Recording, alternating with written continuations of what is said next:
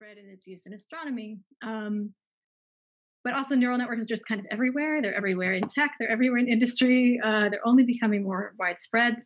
Uh, so I think it's it's kind of a fundamental aspect of, of scientific literacy almost to have a, a basic familiarity uh, with how they work. So hopefully I can convey a little bit of that uh, today.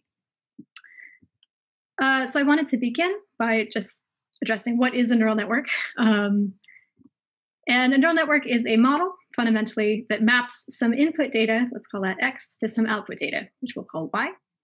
Um, like many other techniques I'm sure you've studied uh, in this course. Um, but a neural network, there's a little bit of linguistic separateness here because the neural network is not only the model itself, but the neural network also encompasses a method for fitting the model. So um, it's a method for specifying this model and then starting from a bad initial guess, but improving um, gradually by looking at successively more examples of correctly matched input and output data. Uh, that's called the training data. So all of this will get more specific in, in, in the next few minutes. Uh, how is a neural network different from other types of modeling that you might be familiar with um, from earlier in this class? Uh, for example, how is it different from fitting a parametric model to your input data X? Uh, so let's say that the data you're trying to fit is the light curve of a transiting planet. Uh, you can write down a parametric model for what you might expect a transit to look like in that light curve. It might depend on a handful of parameters like the size of the planet relative to the star and the planet's period, et cetera. Um, a neural network is, is quite different from that situation. A neural network usually has many, many more parameters than we're used to working with. Um, small neural, networks have the order of hundreds to thousands of parameters, but the state of the art, really powerful neural networks that places like Google are, are working on all the time have billions of parameters um, as of as of now, uh, and they're they're growing all the time. Um, a neural network is also a really powerful model because it's able to decide for itself which facets of the input data it thinks are important um, in specifying the output data, uh, and it's able to ignore the facets that it decides are not important. Um, and along with that, it's able to take the input uh, the facets of the input data that it does decide are important, and it's able to sort of mix and match them to create um, representations, higher level representations uh, that it decides map more closely to the output data than whatever it started with. So, for example, if I give a neural network a stellar radius as one of its input parameters, with a little bit of uh, sort of a few operations, the neural network might decide like, oh, actually, stellar radius squared is more important to me than stellar radius. So it'll able it'll be able to build up that feature itself uh, and use it to to uh, to fit the uh, training set better. Um, and as a result of all these abilities, the mapping that the neural network creates between the input data and the output data is usually very complicated uh, and nonlinear. Uh, and that actually makes it quite difficult to interpret sometimes, um, as we will see uh, a little bit farther down the line. Uh, and I wanted to begin after just that brief introduction by discussing what are the types or the classes of problems that neural networks are appropriate for, kind of why were they invented, what problems were they designed to solve, um, and what problems are they maybe not appropriate to solve. So one of the canonical examples of a really good neural network problem is a classification problem that's easy for a person to do, um, but it's actually really hard to write down specific algorithmic rules for. So one of the classic examples is deciding whether an email is uh, a spam email or not um, I think most of us just like looking at most spam emails would be able to recognize, oh yes, this is a spam email, or vice versa. Um, but it's not always easy to to say exactly how we made that decision, and it's not easy to write down in, in terms of code. If you were to instruct a computer to try to make the decision the same way you did, um, that's actually a lot more difficult than it sounds. And if it's a problem like that, a neural network is a really good approach. So um, another example of a type of problem like that is mapping an image to a description of what's in the image. So here is an example. Uh, let's say we're interested in recognizing uh, digits in zip codes on handwritten envelopes. This is a problem that neural networks were able to solve um, all the way back to uh, as early as the 90s, even when computers were not yet that powerful, which is, is quite cool. Um, so let's say that our input data is an image of a number, a digit. Um, and just because when we're talking about building neural networks, we need to be quite specific about the numerical form our data is taking. Let's say that this image is 28 pixels squared, and at each pixel we have a grayscale value. So at each pixel we have a value from one, which is a black pixel, to zero, which would be a, a white pixel or a transparent pixel. So this data is a 28 by 28 array. Um, and we desire to map that data to an output, which is just a scalar, an integer. So the neural network, ideally, by looking at many, many examples of correctly labeled images, um, will be able to learn a mapping and be able to look at this handwritten digit and classify it as, oh, yes, this is a two. Um, and the reason this is such a good neural network problem, again, is because all of us can do this quite easily, um, but it's hard to really under, like really write down, especially in a systematic way, how we're able to do this, right? Like I, we can look at some some numbers have curly parts, others are, are more angular, but it's I, I, would be quite lost if I, if I had to try to instruct a computer directly how to do this. But neural networks can learn how to do it for themselves, It's very powerful. Um, this technique has improved by leaps and bounds even in the last five years. So when I was first learning uh, the basics of neural networks as a senior in undergrad, um, the Postal Service digit recognition example was still kind of the, the classic teaching example. Now neural networks are capable of things like this. they can take uh, an arbitrary input image um, and they can label it by what's in it. A neural, neural network can quite capably now look at an image of a dog and tell you that what is in it is a dog, which is a much more complicated problem than just identifying a digit. So the digit problem fundamentally is just a classification one. You know the digit is going to be something from zero to nine, so there's sort of 10 choices, and it's just a question of which is the best fit.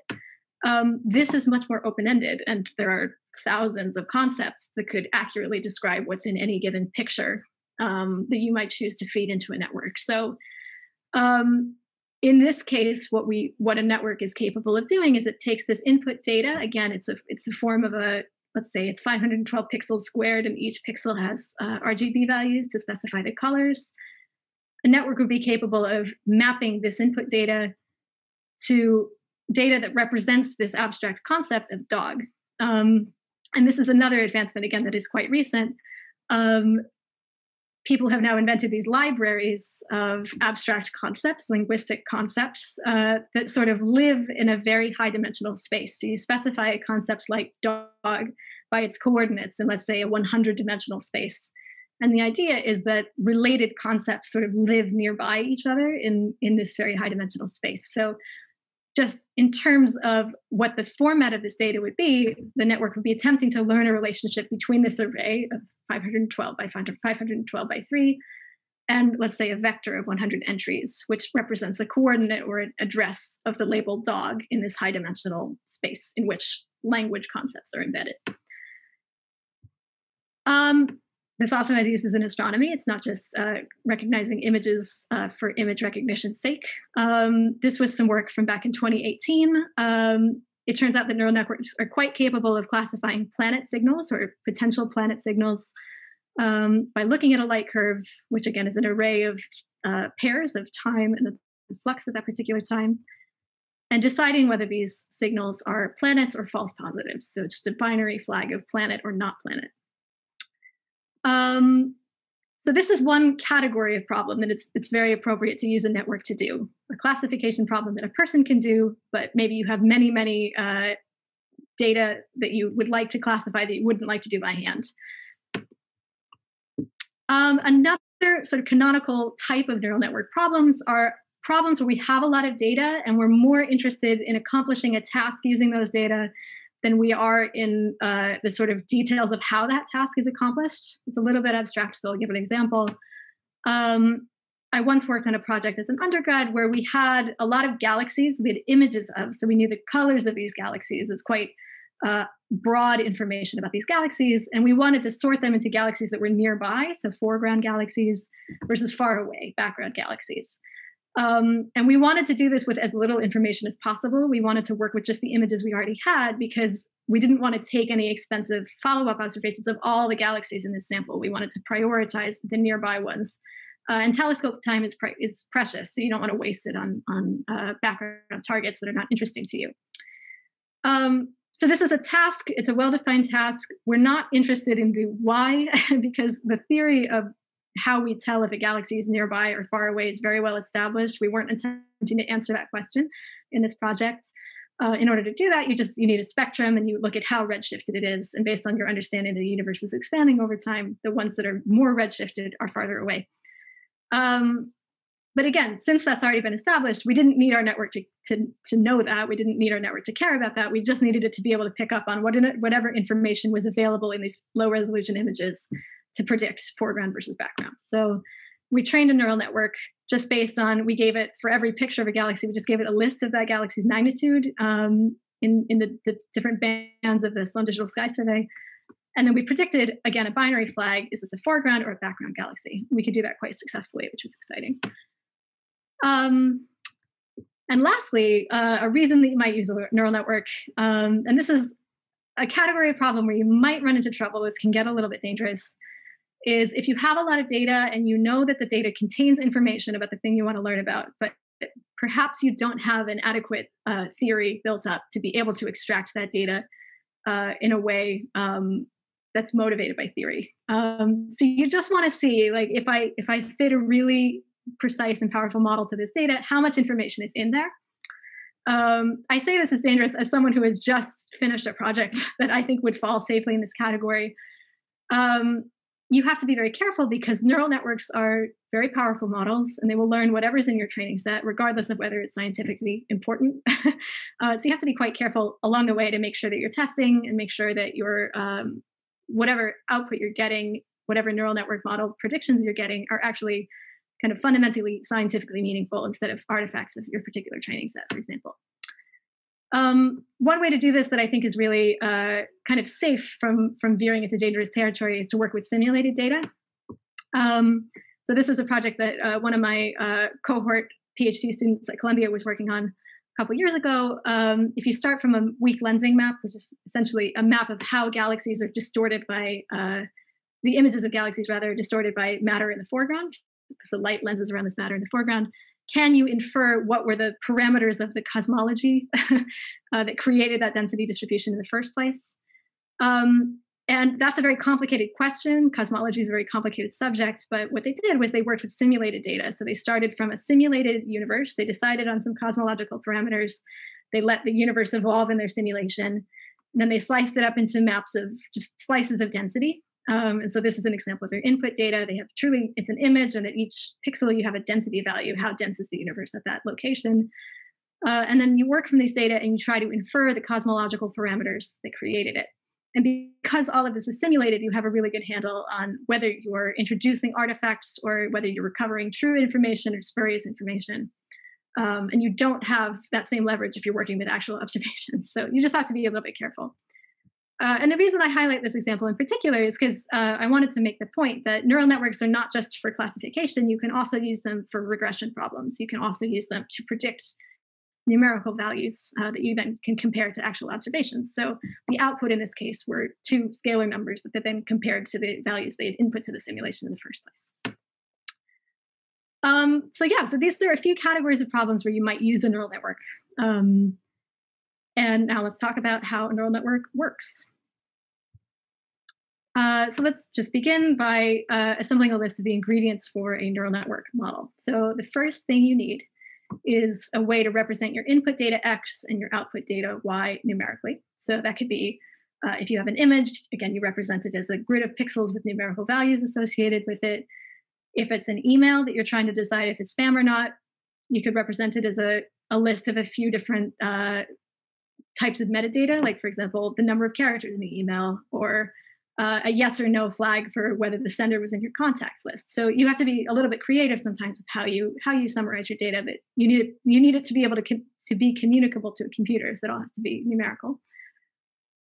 Um, and let's just assume if we're building a neural network model, let's assume that we have this. Uh, the next thing we need is a set of training data. So these are correctly matched examples of pairs, X and Y. So these are inputs and outputs that correspond to one another. Um, and again, if we're talking about building a neural network, let's assume that we have this too. Uh, and the next thing we need is a mapping. So a sequence of operations that takes data that's in the same shape as your input, X, uh, and through some sequence of mathematical operations and transformations, outputs uh, data that's in the same shape as your output, Y. Uh, and I understand this is a slightly bizarre way to phrase this. This is a sort of contentless uh, transformation. It's just sort of getting things from the right shape to the right shape. Um, so it's a sort of it's it's outputting data in the right form. You can compare that to the truth, um, but I'm not saying anything yet about what is in that transformation. Um, but then you need a way of evaluating the quality of that transformation. So if you you have this mapping, it's going from your input shape to your output shape. What happens if you take an example X from your training set and you run it through the network? You get an output that's in the right shape as Y, but it's probably not anything like the actual Y. You need a way to compare those two, what the network is outputting and what the actual truth, the true output is. And by sort of gradually taking steps to reduce the distance between those things, you can end up with a much better mapping than you started with. Um, so we'll go through all that in, in some more detail. But I want to start with how you actually build up this mapping in the first place. Uh, so then now we're going to be talking about neurons uh, and network structure. This is just a, a, diagram, a schematic illustration of the type of thing that we're building up to uh, a finished neural network. So um, the neural network is the mapping it is the mapping that maps X to Y. Um, and it may be very, very complicated, uh, and it probably will be very, very complicated given the types of applications that neural, neural networks are used for. But they're always made of simple and modular building blocks, and these are called neurons. Um, I should say all of this this neuron structure and the building up of neurons into complicated networks. All of this is sort of vaguely inspired by how the the brain was was thought to work um, back in the 1960s when people were first discussing this type of model. Uh, we now know that whatever is going on in actual brains, it's way more complicated than this. So the, the sort of the nomenclature of neurons and neural networks is uh, historical, but it's not representing anything truthful about how how brains actually work. Um, so it's, keep, it's important to keep that in mind. Um, but it's still useful. So uh, if we were to try to investigate neuron neural networks at the neuron level, like what is an individual neuron doing, um, this is how you draw a picture of a neuron. So it's got one or more inputs. It's got a sort of a body of the neuron that takes those inputs and performs some sequence of operations that transmute them or transform them into an output, and then it's got a single output. So this is the fundamental unit of a neural network, uh, is this neuron. And by stringing many of these neurons together, and not just in series, but also in parallel, so you have many, many, many neurons sort of feeding into each other in layers and, and propagating information forward, you can create this flow of information that goes all the way from your inputs at one end to the outputs. Um, and each one of these neurons individually is only doing a little operation, is only doing a little transformation. But by building up many, many of these neurons that all talk to each other and feed information forward, um, you can create quite a complicated transformation between X and Y when you consider the network as a whole. Um, so let's talk about what each net, which, what each neuron individually is doing, because this is quite simple, um, considering the complexity of the ultimate model. Um, and you can break it down into some, some concrete steps. So let's draw the neuron picture again, but a little bit bigger. Um, and let's say that this neuron is taking three inputs. Uh, let's call them Q1 through Q3. And these are just numbers, these are just scalars. If we're starting from the very beginning of the network, these might even be three, three numbers that we're feeding in that are, that are part of our, our input data X. Um, each one of these inputs passes to the body of the neuron, but it's mediated by another parameter called a weight. So each one of these connections that connects the input to the neuron itself has a weight associated with it. And the first thing that the neuron does is it calculates the weighted sum of all these inputs. So it calculates the quantity Q1 W1 plus Q2 W2 plus Q3 W3. So you've got all the inputs, but they're all differently weighted according to the values of these W's. The next thing the neuron does is that it adds in this extra parameter B, which is called a bias. Um, and this is just an extra little degree of freedom so that the neuron can kind of uh, consider the entire output of the weighted sum uh, in addition to each of the terms individually. And then finally, it takes that whole thing, the weighted sum plus this bias term b, and it runs it through another function, an activation function, uh, which we'll call f. So this is all quite abstract. Uh, I'm going to run through it just one more time because I know it's it's a lot. um, this is what the output of the neuron looks like. So once again, uh, the neuron, in order to in order to create this output, it takes this weighted sum. uh, so the w's times the q's all added together. It adds in this bias term, b, and then all of that gets passed to this function f, which is called the activation function. Um, there's a slightly more succinct way to write this, which is this, f, you do the activation function on the dot product of the w vector and the q vector plus b, but that's, there's, there's, there's a million different ways to express uh, neural network math, so it's, it's not super important to, to pay attention to that. But um, so let's talk about each of these components in term. What are these weights and these biases? What is this activation function? Why are all these components here and why are they necessary? Um, so the weights and the bias, each connection in the neural network, which is each arrow in the diagram, has a weight associated with it. Uh, and each neuron, each circle in the diagram has a bias associated with it. Uh, and these are the parameters that your neural network is trying to optimize. So these are the parameters that are ultimately going to set the goodness of fit um, between what the neural network outputs and the truth from your training set. And so when the, as the neural network sees ever more training examples as it trains, the W's and the B's, the weights and the biases, are the things that get, get adjusted little by little to sort of gradually improve the mapping between the input and the output. And this will be clear in a, in a moment when we talk about training. Um, the activation function is really interesting because it is what introduces nonlinearity uh, into the mapping. So let's imagine for a moment that we didn't have an activation function. And instead, we just had a lot of neurons that were all connected to each other, but each one of them could only do this thing where it took the weighted sum of the inputs and added the bias. So it kind of doesn't matter how interconnected all your neurons got or how many how many neurons in succession had access to that data if that's all you're doing to the data, you're sort of multiplying it by W and adding B and then sort of just doing different linear combinations of all of that, you kind of can't create very interesting transformations of what you started from. So you can sort of slice and dice whatever you input, um, but you're not transforming it in any fundamental way. And so you're really hindering your network's ability um, to come up with more interesting features. Like, for example, the example I gave uh, back when I said that the neural the, the network can, uh, if you give it, for example, some parameter, it can decide for itself that that parameter squared might be a more interesting thing to work with. It wouldn't be able to do that if you didn't have this nonlinearity introduced in the in the activation. So to make this a little bit more concrete, um, let's just step through a couple different choices that you might make for your activation function and just explore what they allow you to do with your network. So uh, just for the purposes of this slide, let's let X stand in for everything that goes into the activation function. Um, so one choice that you might make for your activation function is this binary step or a Heaviside function. So what this function does is it takes some input if the input is less than zero, then the function outputs zero. And if the input is greater than zero, uh, then the function outputs one. So the function looks like this, or whichever way, backwards. Um, why might you choose this as your activation function?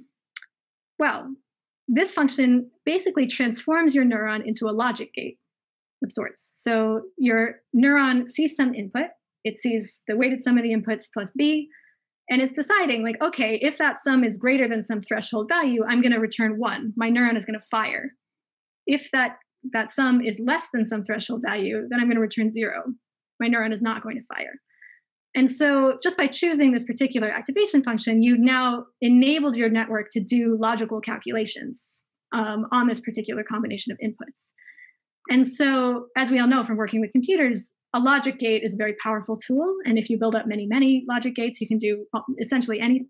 you can do kind of infinite computation. So um, giving your network the capability to do this uh, is really important. So essentially, you're allowing your network to answer yes or no questions about uh, the data.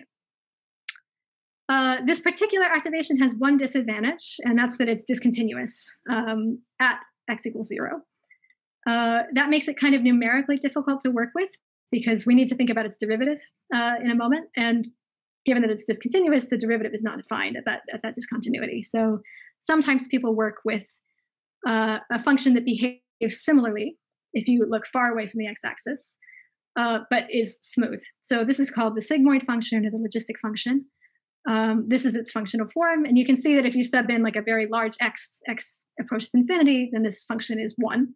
And if you sub in negative infinity, this function approaches zero. So at its tails, it looks a lot like the binary step. So it still enables you to ask these yes or no questions about your data. It can still behave like a logic gate. Um, but it has this additional advantage that it's smooth, so it's differentiable, which is it's numerically convenient for us. Um, another activation function you might choose uh, is if you needed your neuron to output uh, real valued um, numbers instead of just a one or a zero, instead of a binary choice, um, you might give it a linear activation function. So this is a function that's capable of returning uh, any positive or any negative number. You might need this if your outputs um, are real valued. So if you want your neural network to output a real number, you're going to be comparing to the real number from your training set. This might be a useful tool for the, just that output layer. Um, and finally, people are now, uh, again, when I was kind of first learning this stuff back in 2014, the sigmoid function was kind of the standard, and everyone was talking about sigmoids. People are now using much more sophisticated shapes that sort of uh, combine desirable qualities uh, from all of these above functions. So this is one called the sigmoid linear unit. Um, and it has this nice uh, binarity sort of to it. It's got either zero or it's a, a real valued number. Um, and it's got this smoothness and it's got this this nice uh, it can return any positive number too so um, there are different activation functions that might be desirable for different situations i think something like the sigmoid linear unit is a nice default choice because it kind of incorporates the nice properties of, of the others. Okay, so putting it all together, I know this is a ton of information. um, an entire neural network consists of many, many neurons. Each of them has its own weights and its own bias, and these are organized into layers that talk to each other. Um, and traditionally, what's done is you organize your, your, neurons into these layers, and then for every layer, you specify an activation function that every neuron in that layer will have. Um, I think this is just for for reasons of computational uh, convenience, basically, and sort of readability of these network diagrams, which, as we'll see in a moment, can get a little bit complicated. Um, so, just as a simple example, let's design a network that takes in two inputs. Let's say it takes in the stellar radius and the temperature, and we want it to predict the stellar luminosity. So, if we were just going to design a very basic network that might be able to do this, uh, we'd start from our input data so this consists of these two numbers, stellar radius and stellar temperature. We're going to have these inputs feed forward into our first layer of neurons.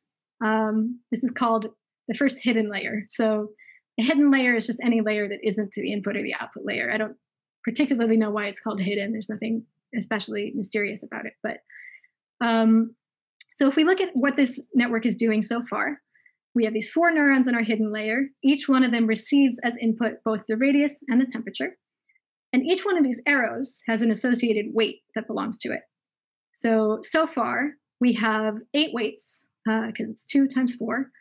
And then each of these circles, each of the neurons has a bias term as well. So that introduces four additional parameters, the bias, uh, the four bias terms for this hidden layer.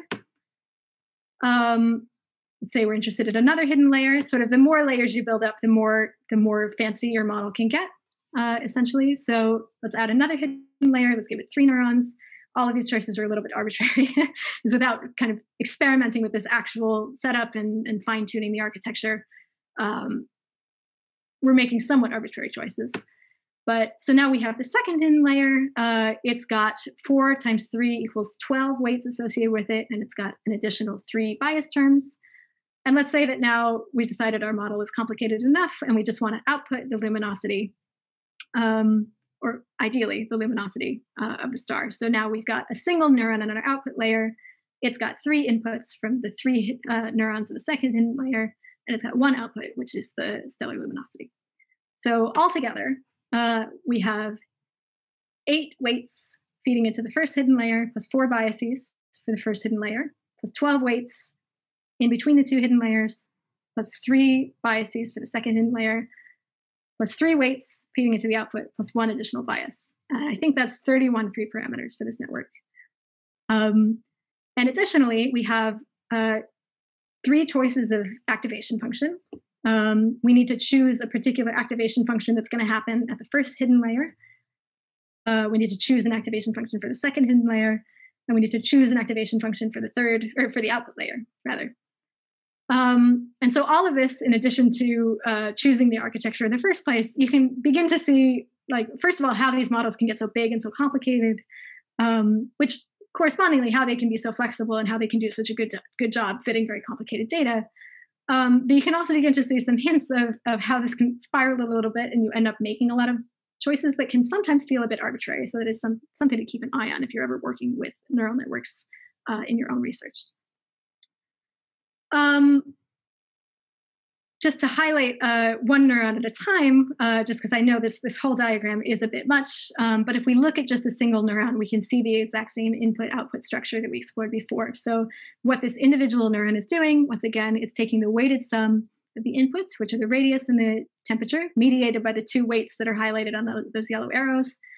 Uh, it's taking that weighted sum, it's adding its bias term, it's spitting out through the activation function, uh, and then it's got a single output. Um, neural networks are never neural network diagrams are never ever drawn this way, which is a little bit annoying.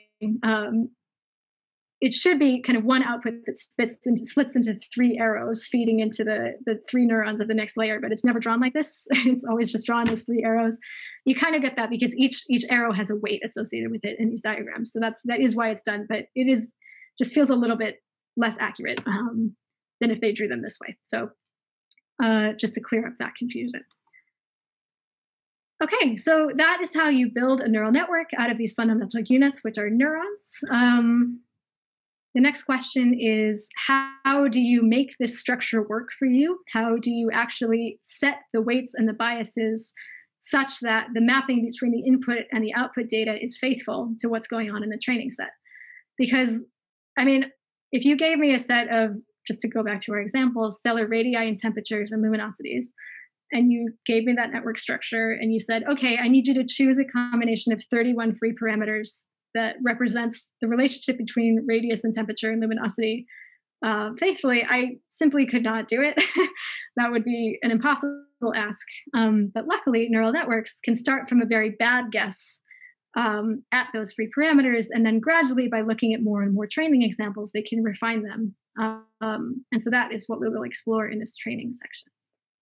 So uh, to return briefly to our list of necessary ingredients for a neural network model, we've now discussed uh, what makes how to, how to build up this mapping between the input and the output. Um, and now we need to talk about how to evaluate the goodness of that mapping and how to improve the mapping by looking at the data in the training set. So um, let's imagine that we are initializing our network. So we have our training set, which are these true pairs x and y. Uh, we've chosen our architecture, we've chosen what activation functions we'll use, um, and we now have a, a structure that if you feed in something of the shape x, it will output something of the shape y. In order to actually do that in practice, in order to give this network a set of numbers and actually do the computational steps to chug through it, get a, a numerical output, you need to choose values for these weights and these biases. So each each connection in the network has a weight, each neuron has a bias, and we need to just choose numbers um, to plug into those those uh, those places in order to actually let the computation of the neural network proceed. So what is almost always done, I, I, I can't think of an example where this isn't done, um, is to initialize all these weights and bias terms as just small random numbers uh, and then to improve them gradually with with your training. So you start with just a random guess, and it's going to be bad. um, but the fact that you have choice, you've chosen these numbers at all, means that you can now insert your data x into your network, and you will get some output in the shape of y. Um, and let's call this this output y sub net. Uh, so this is the output that you get from your network having fed in your true x. Uh,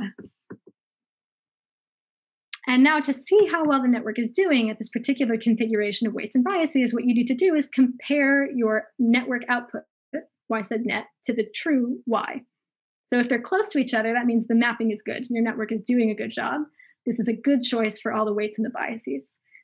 Uh, but if they're far from each other, if they're not if they're not anything alike, that means that the mapping is bad, the network is doing a bad job, and the weights and the biases need to be adjusted to improve the mapping.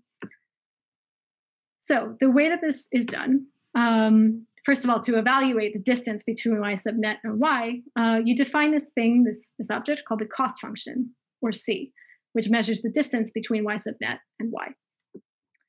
Um, and the most common choice for cost function, uh, vastly most common, there are sometimes you will encounter a different cost function, but really, unless there's a particular, particularly unusual situation, um, almost all neural, neural, networks that I've come across have used this cost function, um, is the mean squared error, um, or in machine learning parlance, the quadratic cost function.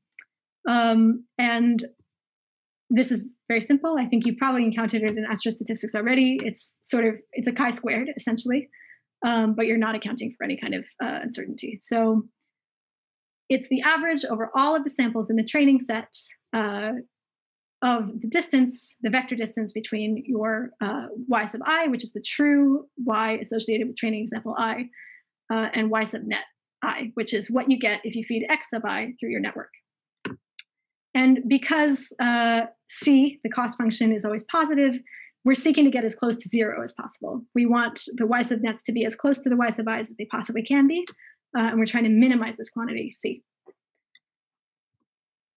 Um, the reason that this is such a common cost function, the reason that almost everybody uses it, um, is because it's first of all it's very simple. Um, second, it's familiar from from other contexts. So anyone who's studied statistics, anyone who's coming from physics, anyone who's coming from computer science will be familiar with uh, with this function. Um, and it also has this really nice property of being convex, um, which is easiest to show in a picture. Uh, if we plot C against Y sub net, uh, we see it's shaped like a bowl, which means uh, given our goal of sort of rolling downhill towards the minimum of C, um, we're not going to be interrupted by anything unexpected, basically, in the behavior of this function. Uh, we know that it's got this global optimum that we're trying to approach. Um, yeah, so this is this is this is basically this is the cost function to use. Uh, so yeah, so how does training work? Given that we've specified our cost function and we now have our functioning network that is starting from a very bad guess at the weights and the biases, how do we use this cost function to improve our guesses for the weights and biases? So I guess a, a different way to state that question is we have this arrangement of weights and biases. What we want to do is just nudge those weights and biases a little bit and get a little bit better costs out at the at the end. We want to shrink C by just a little bit. The way to do this is to recognize that the cost function is a function of this object y sub net, which is the output of the neural network. The output of the neural network is a function of all the weights and the biases. So given that we have this sort of this chain, we can use the chain rule um, to calculate the partial derivative of the cost function with respect to each weight and each bias. So we can calculate the derivative of the cost function with respect to y sub net, multiply it by the derivative of y sub net with respect to each of the weights or each of the biases. Um, because this is computational, all of this is done by the computer. We're not doing any of this analytically, which is nice. Um, and the algorithm that computes these partial derivatives is called backpropagation. This is just an important piece of vocabulary to know. Uh, and the reason that it's called backpropagation is because it takes this desired change in C. We want to shrink C by just a little bit. Um, and it takes that that change and it propagates it backwards through the network via the chain rule. So it starts at the end, which is where the, compu- uh, the cost function is computed, and then it works backward layer by layer to sort of propagate that change all the way back to the weights and the biases, all the way at the beginning of the network. Um, yeah, so now we have all of the, the ingredients we need. Um, the way to understand exactly how this works in practice, I think, is uh, to visualize this, I think let's imagine we have a very, very simple network. Um, let's imagine the simplest possible network, in fact, one that only has one weight and one neuron. So it's basically going from input through one neuron to the output. So there's one weight and there's one bias. If we picture what the cost looks like as a function of the value of that weight term and the value of that bias term, we can see that the cost has some global minimum somewhere. That's where we want to get to. We want to get to the combination of weight and bias where the cost is lowest. Um, but if we randomly initialize the weight and the bias, we're not going to be there. We're going to be somewhere else. Uh, so let's say we initialize at this point on our landscape. Now, what we can use backpropagation to do is to calculate the partial derivatives uh, of c with respect to w and to b. Um, and if we have those partial derivatives, what we now know is the gradient of c. So we actually know the direction that points as downhill as we can possibly get. So that's that's the definition of the gradient, is kind of the maximal downhill slope. Um, and so if we take a little step in the direction of that gradient and we update our weight and our bias, we now have a better uh, cost. We've improved the performance of the network, and we have a new set of weight and bias, um, which are a better arrangement than we started from. And we can just repeat this procedure over and over and over again, um, looking at, at new and, and, more training examples. Um, and kind of the more we do that, we just do that until we stop seeing improvements in C. That means we've gotten to the bottom of the bowl, uh, and then our network is trained. So that's that's how it works. We just follow the gradient all the way downhill. Um, this is a little bit harder to picture in many, many dimensions. Um, of course, most networks do not have only one weight and one bias. They have up to billions of weights and biases. Um, that is impossible to picture. Um, but the sort of the basic premise of we have some landscape of cost that depends on the particular configuration of weights and biases, and we want to follow the, the slope of that cost landscape down to its minimum, uh, that still holds. So that's essentially what we're doing in training. Um, yep, I will skip this, this slide completely. Um, so this process by which we follow the gradient downhill, it's called gradient descent. Um, and I just wanted to briefly introduce a little bit more machine learning vocabulary because I find the machine learning literature so obscure. like everything that has a name in machine learning has a different name in physics. So, uh, uh, for example, the cost function being called uh, instead of the mean squared error, it's called the quadratic cost function. Like uh, you need a, a dictionary essentially to make sense of some of these things. So um, in practice, uh, when you're doing this training procedure, um, you have to choose an additional parameter, which is called the learning rate. And that's just the size of the step you take in the downhill direction at every training step. Um, you'll be very familiar with an analogous thing, which is the step size from MCMC. So if you set your learning rate or your step size too small, um, then you're you approach your global minimum, but you do it very slowly. So uh, you might have some trade-offs in terms of speed. Uh, if you choose a learning rate that's too big, um, then you approach your global minimum a lot faster, but you might overshoot it and end up sort of stepping around it in a, in a clumsy way. Um, so that's another thing to keep track of. Um, often, a, a, training strategy people use that's a slight modification of what I've described is to, instead of computing the cost over the entire training set uh, at each step, they will divide the training set into subsets. Um, and each subset is called a batch or even a mini batch. I don't know what the distinction is between a batch and a mini batch. I think those things are used more or less interchangeably.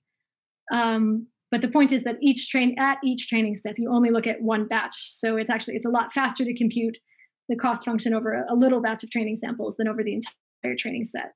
Um, and so at each step, you look at a different batch and things go a lot faster. There's a little bit of an accuracy trade off, but it, it's a trade off that everybody makes because the, the gain in speed is so extreme. Um, and because you're only looking at a, a, random subset of the training step at each step, this is now called stochastic gradient descent instead of gradient descent.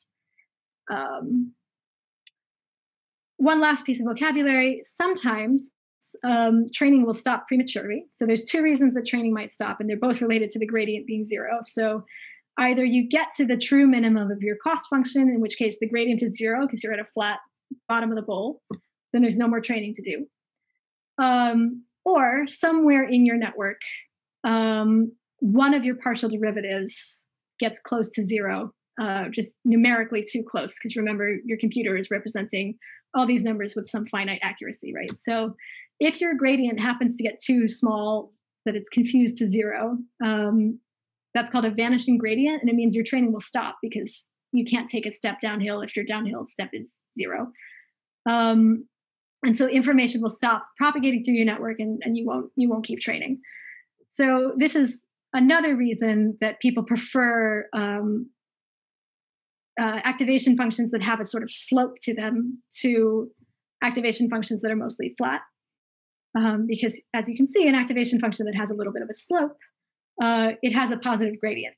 So your gradient is less likely to vanish in that situation than if you have a mostly flat activation function.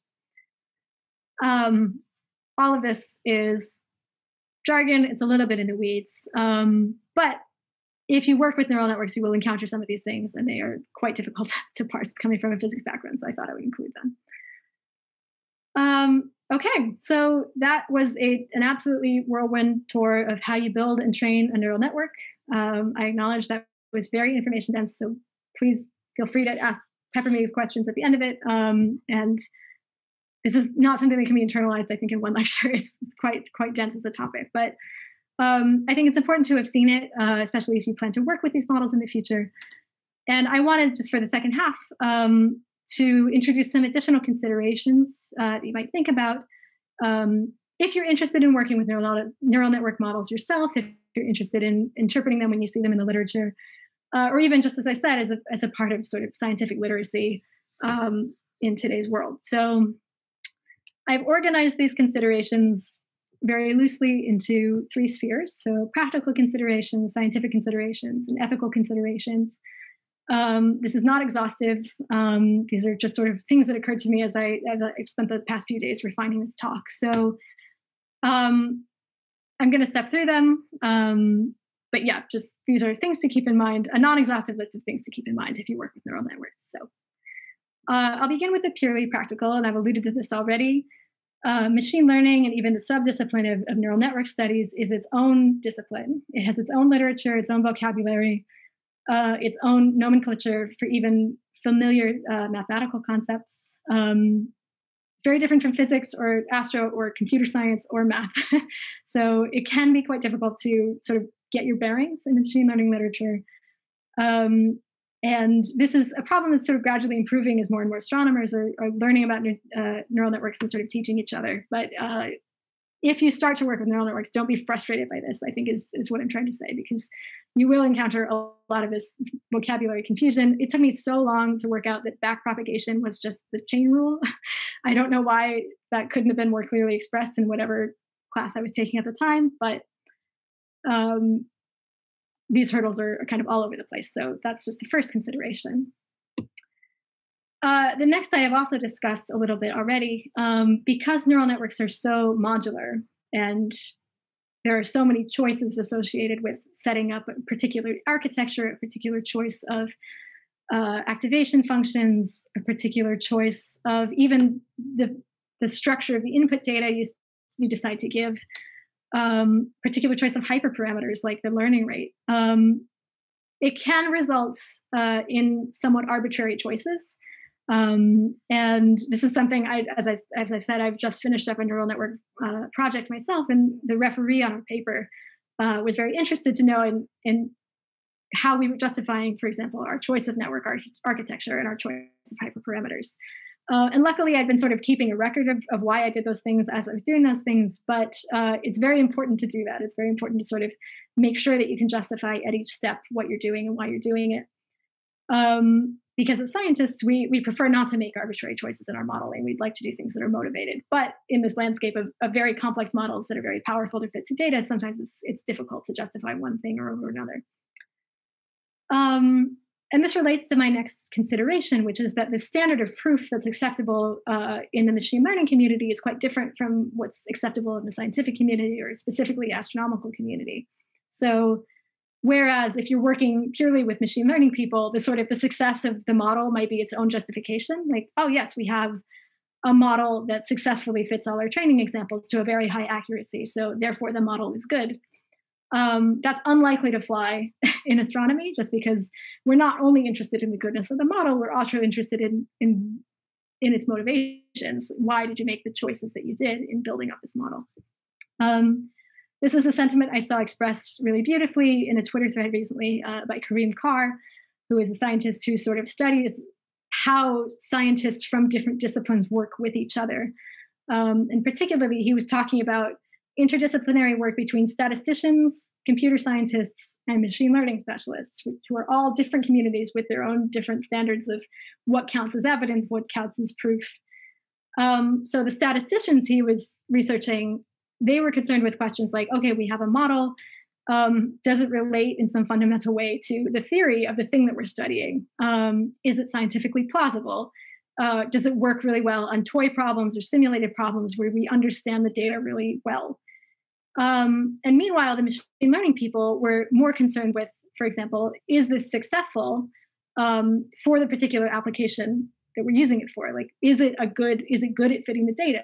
Can we sell it? Does it make money? I mean, this sounds a little bit derogatory towards machine learning. Maybe I don't think I don't intend it that way. It's just the two fields have very different standards for what is a successful model, and communication between them can be quite tricky sometimes. So, uh, what what what flies in machine learning might not fly in science, um, and vice versa. That's important to keep in mind, especially if you're getting your inspiration for machine learning projects from the machine learning community. Um, the next point, and this is a really important one, is that if you're using a neural network model, um, it has all of these parameters. It's got all of these weights and these biases. Um, even in just our toy model example, there were like 31 free parameters. Uh, and it's not obvious, just based on what I've said so far, how to quantify the uncertainty on these model parameters. So, as scientists, we're not only interested in the best possible prediction of our model, we're also interested in getting a sense of the uncertainty envelope around that prediction, right? So, it's not actually a complete scientific result to just present one outcome. like we kind of need a sense of the distribution of possible outcomes given given our model. Um, and as astrostats people, you are definitely aware of that. So, um, but uh, I wanted to bring up a paper. I mean, like this was something that I struggled with even up through and including this this most recent project. Um, how do you establish an uncertainty on the prediction of a neural network? And I came across this paper um, in January. Uh, I think it came out at the very tail end of 2020. I think it's excellent. I just wanted to highlight it because I think it's, it's one of the most useful machine learning papers that I've read. Uh, it's by two particle physicists at Fermilab. Uh, and what they did is they wanted to compare a few different ways that people have invented of coming up with uncertainties on neural network predictions. And the way that they did that is they, they started from a really simple physical system. It's one that uh, is sort of a staple of undergrad physics labs. You have a single pendulum. It's got a length L and a mass N at the M at the end of it. It swings back and forth, and you measure its period T. And the goal is to use these data to calculate the gravitational acceleration G um, at Earth's surface. So the the correct answer, which I think mostly you're given in, in, physics labs, and you just try to you, you have to sort of try to get the right number out of your measurements, but this is the relationship that you're trying to establish. So uh, what these two particle physicists did is take this system, um, come up with a bunch of simulated measurements as if they had done a bunch of measurements in the physics lab, train a neural network model to take in these measurements and try to output a prediction of G. Um, and so the network had to learn, for example, that uh, the length of the pendulum and the period were important, but the mass and the angular displacement were not. So the, the network had to sort of decide these things for itself. Um, and then they took they took this neural network they did these three different ways of establishing the uncertainty on it and then they compared that to what you get if you just take the data that you started from and do the analytic error propagation like you would like you would do in a standard sort of uh, sort of lab environment and by comparing the, the, the analytic uh, estimate to what they got from these three different other ways of estimating a neural network error, they were able to actually say, like, okay, one of these is definitively better than the other two, which was very good. Um, so what we're looking at here, these are plots of the analytic uncertainty on the x-axis versus the uncertainty that you get on uh, from the neural network on the y-axis for the three different methods in the three colors. So ideally, if if all three methods were really good, you would get all of them falling along this diagonal line. That's not what you see, of course. So if you train your neural network with not enough representative uncertainty in the input data, um, then actually all three methods fail. So this is the first lesson: is that in your training set you need to have represented um, the actual observational uncertainty uh, of the thing that you're trying to model. So if you don't include enough uncertainty in the training set, the neural network is not going to be able to give you a, me- a, meaningful uncertainty out the other end. That makes intuitive sense.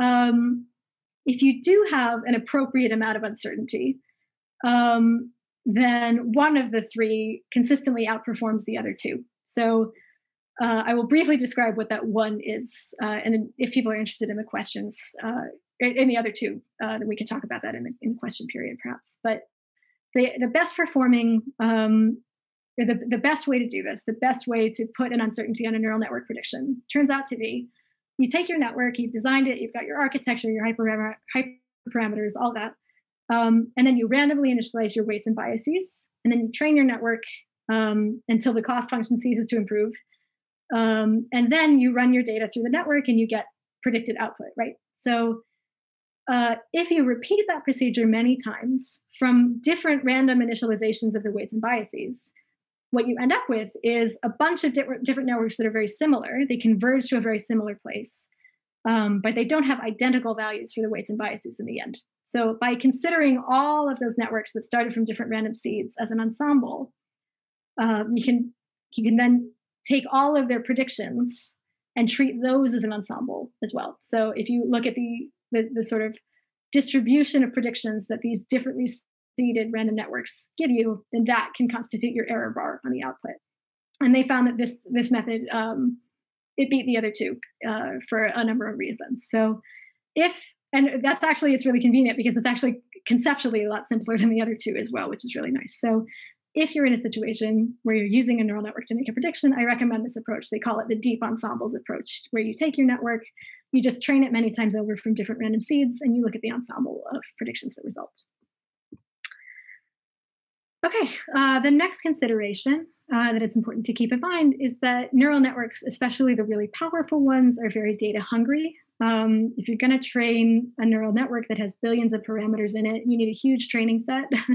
consists of probably billions of training examples uh, in order to, to get anything meaningful. Um, that's a practical consideration because it's really hard to get it to assemble a data set of that size. I guess as astronomers, it's, it's, less difficult than it might be in other subfields. So you can you can run neural networks on you know all of the billions of galaxies in SDSS, for example. Um, but in other domains, it might not be so easy. Uh, and this is something I ran into in my previous project as well. We were trying to run a neural network on the distribution of exoplanets. We only know of a few thousand exoplanets, and in neural network terms, that's that's very small number indeed. So um, the reason that this is an ethical consideration is is for a couple of reasons. Um, number one, a lot of these huge training sets, particularly the ones that are used for language modeling, so things like things that power Google Translate or or image recognition on the internet or even predictive texts like autocomplete. The training sets that uh, are used to train these huge models are scraped from the internet, generally speaking. It's the only repository of digital knowledge that could accommodate such a huge training set. As we all know, the internet is a cesspool for lots of reasons. So, um, whatever awful stuff is in your training set might end up learned by your network in ways that you don't recognize until much later, if at all. So it's just it's very important to be conscious um, that the neural network is going to absorb whatever is in your training set. Um, it's also an ethical concern for another reason, and this is one that was surprising to me, and I only learned of recently.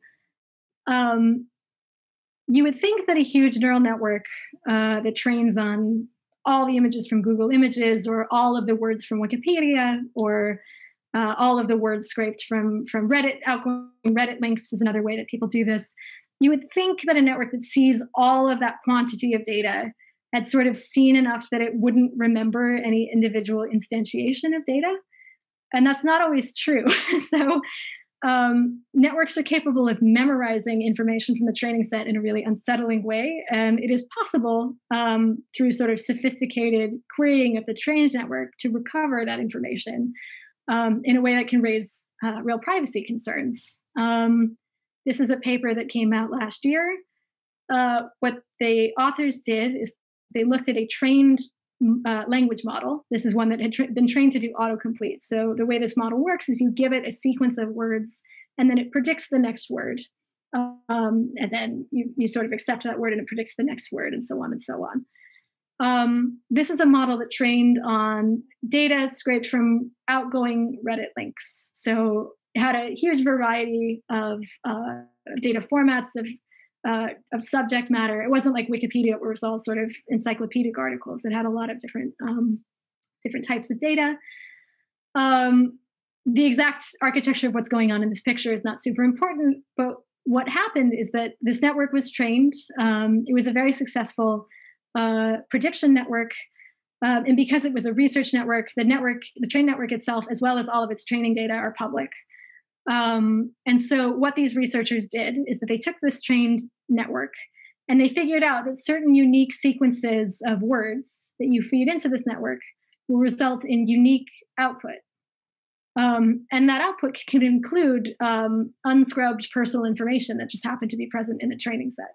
So uh, they figured out that if you feed in the sequence of words East Stroudsburg, Stroudsburg, which sounds meaningless and indeed is pretty meaningless, but it was enough to trigger the network to predict the sequence that had appeared verbatim in the training set, which was someone's full address, name, uh, email address, phone number, and fax number. So that's quite unsettling, right? Um, and this was public data and it was scraped from the public internet. So this is less unsettling than realizing that there are there are companies like Google that have access to a lot of personal information and are very likely using that personal information, including things like Gmail repositories, to train analogous models. Um, so this is just something we have to be aware of. Like, um, there are real privacy concerns in, in how this data operates. And this is not something I personally, I mean, like, I'm not an expert in this particular subject matter, obviously, but I would never have thought like my network is capable of memorizing the contents of someone's particular email that ended up in the training set, for example um, this is very difficult because there's not really, if you're interested in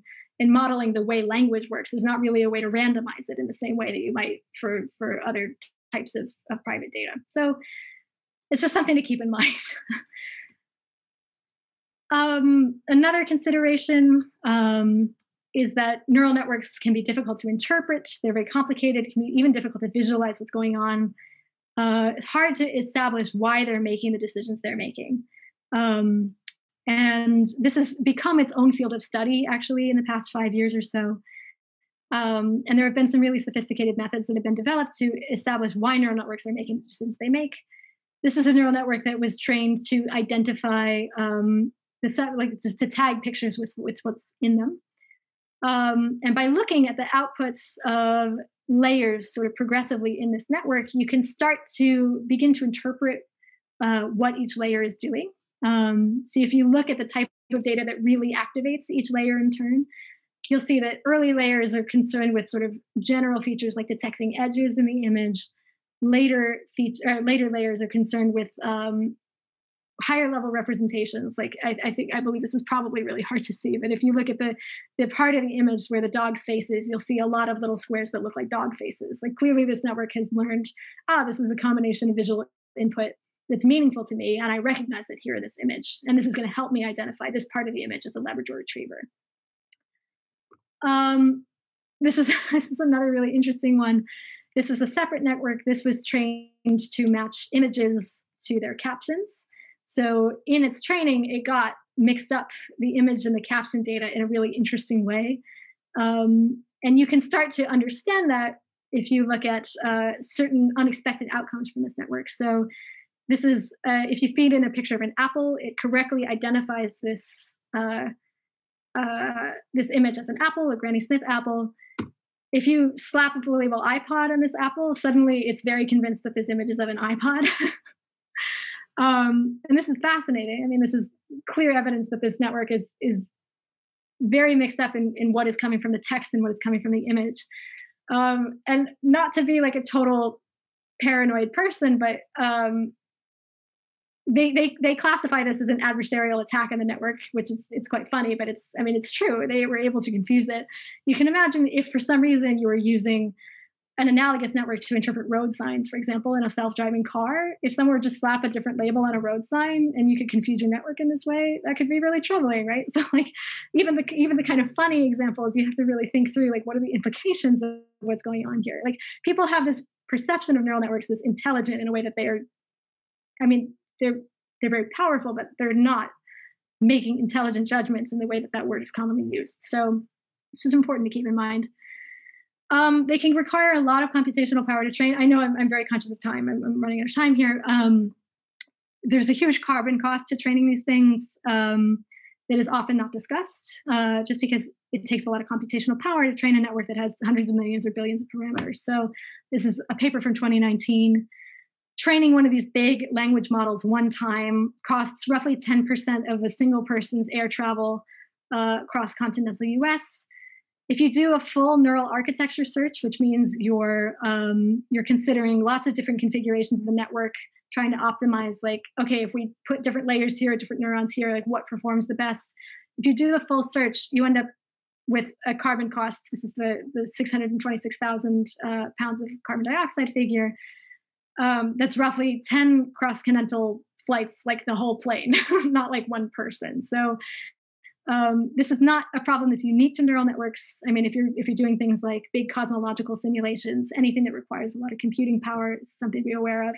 And it's not something that's ever uh, discussed really, but it is it is an ethical consideration. So, um, and these things are not training on like huge server farms. They're training on uh, basically like little kind of graphics card uh, GPU unit that you might slide into a desktop computer um, just a handful of those for, for several days at a time. So uh, just important to keep in mind.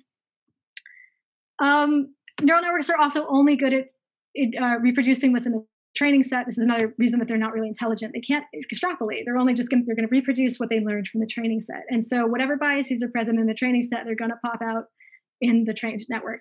Um, and there's a lot of problems that become apparent from the sort of the small scale way up to the large scale. This is just an example. I, I, mean, off the top of my head, I can think of three or four big scandals just from the last year, sort of lockdown Twitter going crazy over one thing or another. Uh, this is an example of what happens when Google Translate tried to translate from Hungarian to English. Hungarian is a language that only has gender neutral pronouns. And you can see that when you translate it to English, uh, the algorithm is deciding on she or he based on gender stereotypes in the profession at the end of the sentence. So this is not optimal. This is not ideal. Um, and I'll skip over the next example just as conscious of time, but there's reasons, right? It's not just in sort of silly examples like that uh, neural networks are everywhere. They're already making decisions on behalf of real people, um, and they're already encoding biases that are really negatively affecting people's lives. So, this is a study that was done in 2019 of an algorithm that an insurance company uses uh, to decide which patients need follow up healthcare. Uh, presumably, because the algorithm is algorithm is proprietary, they don't say exactly what it is, or even if it's a neural network. But I think it's a safe assumption that it is, because it's the kind of thing that neural networks are used for. What this algorithm does is it takes in a patient's health data and assigned, it assigns them a risk score. So the higher the risk score, the sicker it considers you to be. And if you're above a threshold score, it's it's it send it recommends that you be sent for further screening. Um, so that's a, a score of 55 or something. And the authors of this paper looked at the real patients who have been really studied by this algorithm and really assigned a risk score. And they found that the white patients uh, and the black patients who received the same score, the black patients were considerably sicker. So a black patient had to be much sicker before the algorithm would recommend them for further health screening. Um, why is this happening? this is happening because the network was not actually assigned um, to predict illness or health outcome. It was assigned to predict cost of treating the patient. Um, and for historical reasons in the US, uh, lot less money is spent per black patient than per white patient. So a black person has to get a lot sicker before it becomes cost effective to preemptively treat them or screen them than for a white patient. So the network learned this bias, it enacted this bias. This is obviously not acceptable. Uh, and it's a sign that um, transparency in terms of the algorithms is not only about what data exactly the algorithm is using and how it's making its predictions, but it's also who designed this algorithm and for what purpose, right? Like clearly, I mean, it's not actually that surprising that an insurance company would be making its decisions based on health costs. We know that this happens. Um, so it's it's it's all a really important um, aspect of interpreting uh, and hopefully regulating these networks. And that's my final point. These networks are not widely understood by the public. They're not well regulated. Um, I just wanted to finish with this example this is a clip of Tesla's full self-driving mode uh, from March of this year. um, and over this 45 second clip, we're going to see it make several really unacceptable mistakes. Luckily, there's a human driver um, here at the wheel to correct for these mistakes. We've seen it just stop in the middle of a lane here. It's in a turn-only lane when it shouldn't be. Um, we're about to see it driving on the wrong side of the road, uh, trying to turn onto a one-way street. Um, wrong side of the road. Uh, and it's about to make a really dangerous crossing of an intersection. And of course, this should not be on the road. I think we can all agree. This is extremely dangerous. I, I, don't doubt that neural networks could eventually perform as well as human drivers. I think that's almost certainly going to happen in the future. It's just not there yet. And yet, this car is on the road, um, and this should not be allowed. like, I think that's a pretty straightforward thing. So, um, I just want to conclude there. Um, I think, again, it's an important part of scientific literacy in the present moment to recognize that these networks are important. They're out there in the world, they're making decisions on behalf of all of us, um, and yet they are not widely understood, they're not well regulated. Um, and I think that should change. So I just wanted to, to, finish there. If you're interested in networks for yourself, here are a handful of Python packages that can use to, to begin to explore. I recommend PyTorch myself, but I hear good things about Keras. I wouldn't recommend scikit-learn. Uh, and finally, here's just some recommended reading. Um, I'll send these slides out, or I'll send them to David and, and, and make sure you all receive this too if you're interested. So um, yeah, thank you very much for your attention. I know I've run over time. So um, yeah, I'll stop there. Thank you. Yeah, let's uh, show appreciation for Emily for her time. Wow, you covered so much there, Emily. Very impressed with how much you covered. Um, Too much, so we, I think. no, no, no. That was wonderful. I learned a lot from that as well. Um, would anyone like to ask Emily any questions?